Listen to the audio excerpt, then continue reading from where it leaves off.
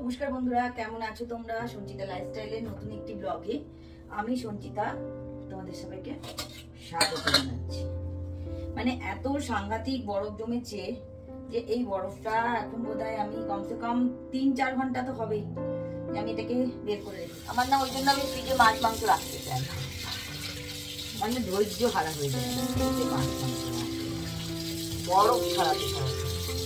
ভাবলাম যে একটু মেরিনেট করে মাংসটা বসিয়ে দেবো। এখন আবার আমাকে এক ঘণ্টা বসে থাকতে হবে। আর ক্যামেরায় আসার জন্য আমি দেখো কেমন ঢুকে বসেছি। বড় ট্রাইপডটা আমি চেক করতে ইচ্ছে করছে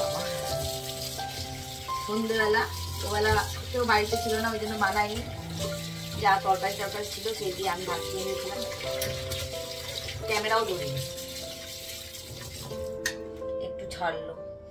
একটুখানি দই দেবো। তো ধোয়া হয়ে গেছে। আর দেবো। আজকে না মশলা পেশা নেই গো। তো যেইটা আছে, যতটা আছে, ওটা দিয়ে দিলাম। ওখানে রেডিমেড মশলা দেবো। কোনো কোনোদিন দিই, সবসময় দিই না। তো এমার্জেন্সি পারপাসে কিনে রাখা আছে। একটুখানি দিয়ে দিলাম। টিকের আমার পছন্দ হয় না। বলে একটা ভিনিগারের গন্ধ বেরোচ্ছে। অথচ নিজেই কিনে নিয়ে আসে স্মার্ট তাহলে আনার কি দরকার বলো? একটু দই দিলাম।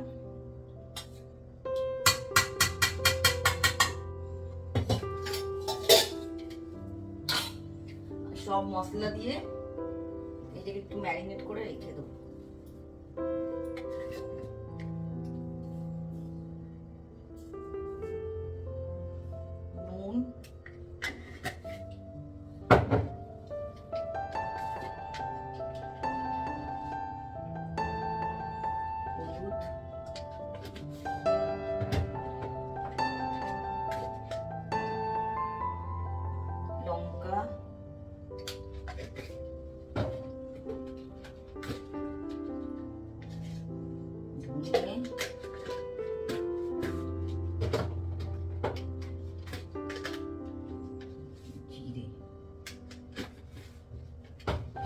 সবটা দিয়ে ভালো করে মাখিয়ে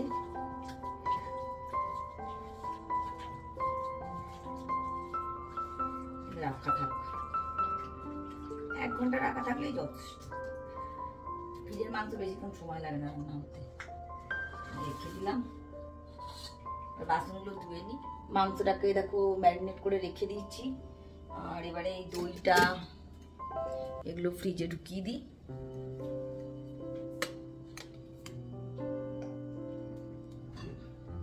এক হাতে করে করে কাজ করার চেষ্টা করছি। সবাই যখন পারে, আমি কেন পারব না? দই, আর আদা রেখে দিলাম।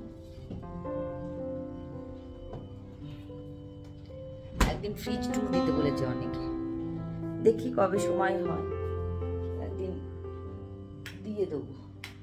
ফ্রিজ ট্যুর আর ফ্রিজ ট্যুর মধ্যবিত্তের ফ্রিজ ট্যুর কি আর থাকবে বলো? বিরাট কোটিপতি তো নয়।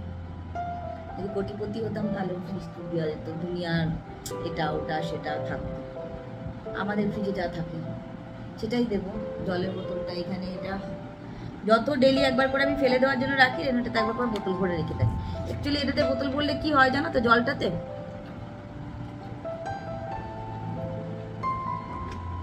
এত জল খাচ্ছি সারাদিন। এটাতে জল বললে কি হয়? কাত করলে জল পড়ে না। আমার কাঁচের বোতলগুলো কাত করলে জল পড়ে সেই জন্য এটাতে করে। চলো ঠিক আছে, রাখি। আবার আসছি। ট্রাইপডটা সেট করে কাজে লেগে গেছি। মাংসটা বানিয়ে ফেলি। বসে বসে না সবজি কাটার আর এনার্জি থাকছে না, জানো তো? এত গরম লাগছে। মনে হচ্ছে খাওয়া দাওয়া ছেড়ে দিয়ে খাওয়া দাওয়াটা যদি ছেড়ে দেওয়া যেত সব থেকে ভালো জীবনে আমি শান্তি পেতাম। পেট তো মানবে না না, সব মানবে।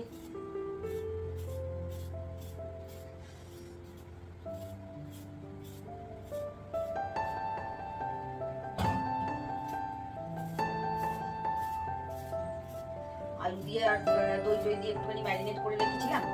বেশিক্ষণ সময় লাগবে না অবশ্য। চিকেন করতে আমার সব থেকে সব রান্না থেকে মনে হয় যে চিকেন সব থেকে ইজি রান্না। এবার শাড়ি পরে আছে। আরও গরম লাগছে। আমার না ভালো লাগে না। ডেলি ডেলি নাইটি পরে ভিডিও করতে বিরক্ত লাগে। মনে হয় কি, দূর বাবা, লোকে কিছু নাইটি দেখে, দেখেই তো বোর হয়ে যাবে লোকে। নিজেও এডিটিং করতে গিয়ে না বিরক্ত লাগে। নিজে এডিটিং করতে গিয়ে নিজেকে নিজের আমার ভালো লাগে না। তো যতক্ষণ না নিজেকে যখন নিজের ভালো লাগবে না তখন তবে দর্শকদের কি করে আমাকে ভালো লাগবে সেটা বলো। এবারে গু গা শুরু হবে। আগে এখন ইয়েটা জ্বালায় লাইটটা জ্বালায়।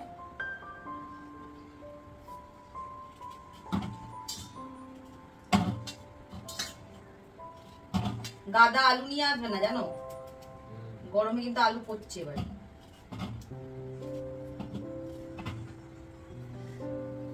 বড় বড় গাদা গাদা আলু আনলে একটা আলু পচে গেলেই ব্যাস। এক কিলো আলু চলে যাবে।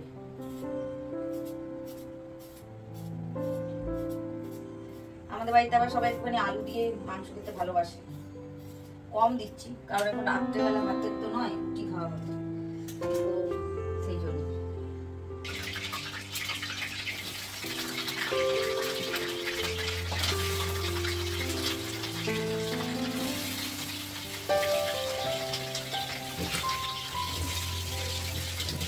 ফোনটা চার্জে লাগা ফোনটায় চার্জ নেই।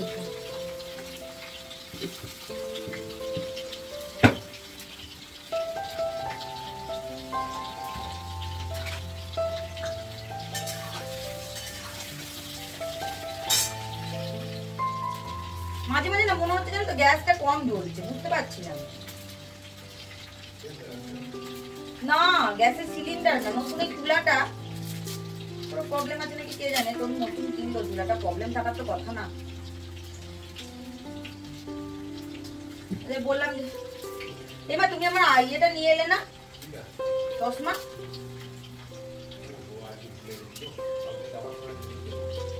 পয়সাও তো তুলতে হতো দাঁড়িয়ে দাঁড়িয়ে কেটে নি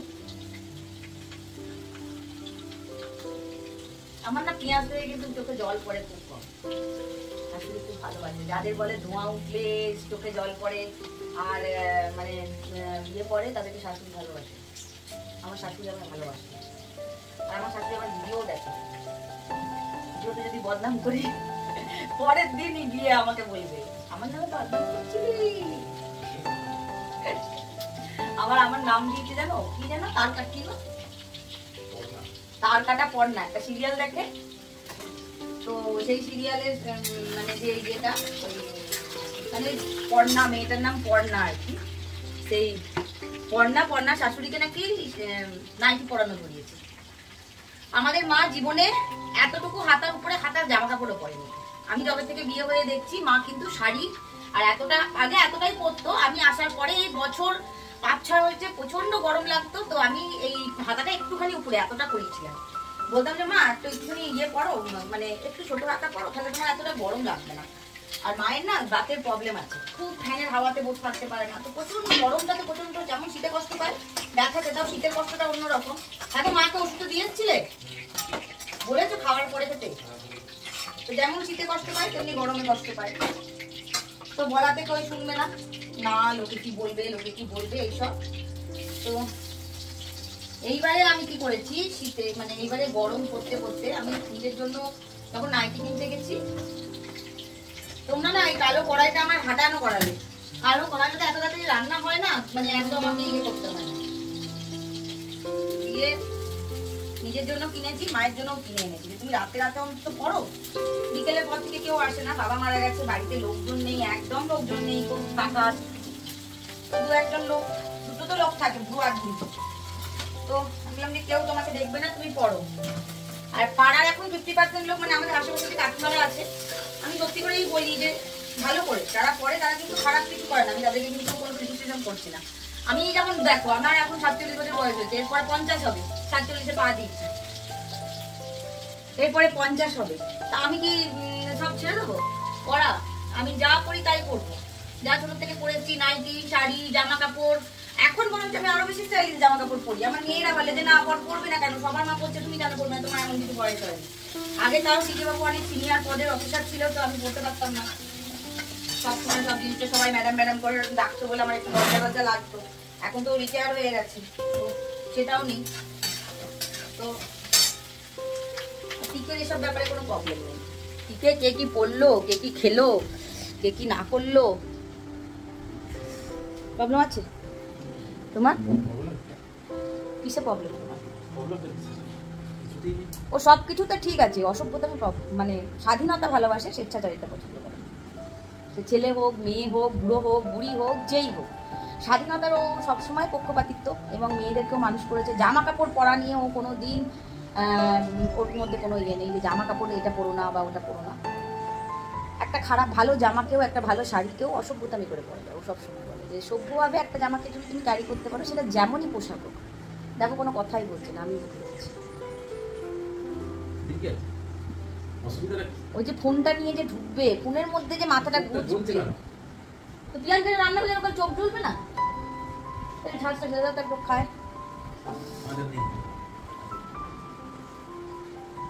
ঢেলে দেওয়ার চক করে বলছে না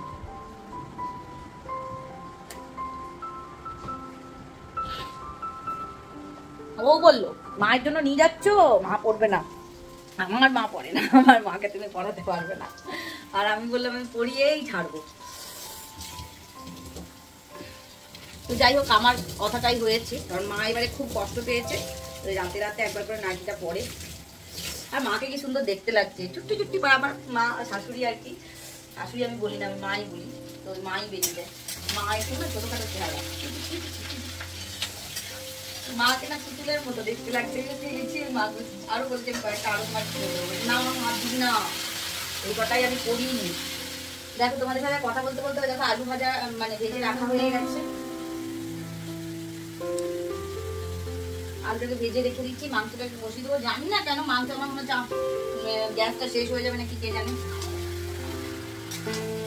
খুব আঁচটা কম লাগছে। মাংসটা ঢেলে এবার হয়ে গেছে, কষানো হয়ে গেছে, ঢাকা দিয়ে দিলাম। এখনও কালারটা হয়নি, একটুখানি সাদা সাদা লাগছে, দই দিয়েছি বলে। হয়ে যাক, তারপরে দেখো। ঢাকা দিয়ে দিলাম। একটুখানি বাইরে গিয়ে বসে প্রচণ্ড গরম লাগছে রান্না ওটা ধীরে ধীরে, তারপরে আবার এসে। দেখো, চিকেনটা একদম ডান হয়ে গেছে। আর একটুখানি আমি মশলা কম দিয়েছি বলে একটু রঙটা লাল লাল কম হয়েছে, কারণ আমি শুকনো লঙ্কা দিইনি, অল্প একটু দিয়েছি। শুকনো লঙ্কাটা দিলেই লাল রঙটা হয়ে যায়, বাট আমি দিইনি ইচ্ছে করেই। দেখো ভালোই লাগছে আর একটুখানি ঝোলটা ইয়ে হোক তারপরে গ্যাসটা বন্ধ করে দেবো একটু ফুটুক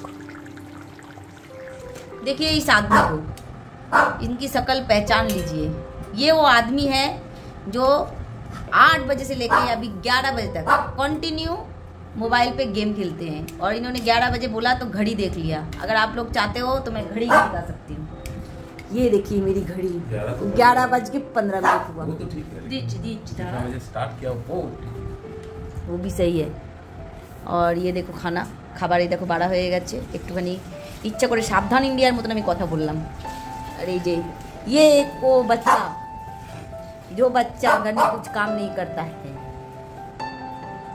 शकल दिखा अपनी बंदर जैसी है तेरी शकल और करने की क्या जरूरत है তো চলো খেয়ে নিই আর জানো তো, আমি ঘরে শুয়েছিলাম আমি রান্না বান্না করে গিয়ে একটুখানি ফ্যানের ওখানে গিয়ে শুয়ে আছি। আর রেনু খাবারটা বেড়েছে, একবার দুবার আমাকে ডাকলো, আমি সারা দিইনি আসছি আসছি বলছি। আমি মোবাইলটা চালিয়েছিলাম, আমার ভিডিওটা হচ্ছিল। ও ভাবলো কি, মা শুনতে পাচ্ছে না, দিয়ে আমাকে গিয়ে ডাকতে গেছে যে মা, রান্না হয়ে গেছে, ওখানে খেতে বসে গেছে সবাই, তুমি কেন আসছো? বুঝো, এদিকে শোন। মানে ওর এত বুদ্ধি।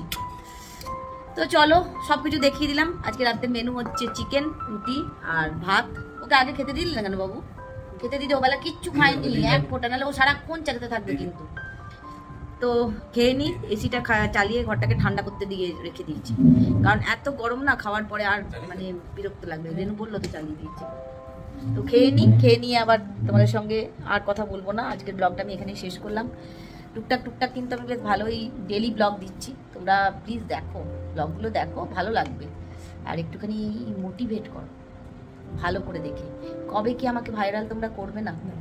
আমাকে ভাইরাল করার তোমার ইচ্ছা নেই? তোমরা কি চাও না যে আমি বড় ইউটিউবার বানি? আমার পিঙ্ক কালারের ড্রেসটা আমার দেখো, দেখা যাচ্ছে। যেখানে ভাইরাল হবার না, সেখানে আমি ভাইরাল হচ্ছি। এখানে ভাইরাল হচ্ছে। দেখো দেখো দেখো দেখো। এই মেয়েটাকে দেখে না তো চলো, আমি এটাকে বন্ধ করলাম। পুজোকে দেখতে খেয়ে নিগা ভালো লাগছে না, যে ঘুম লাগছে, খুব জোরে ঘুম পাচ্ছে। বাই সবাইকে বাই বলে বন্ধ করে দিলাম। ভালো থেকো, সুস্থ থেকো।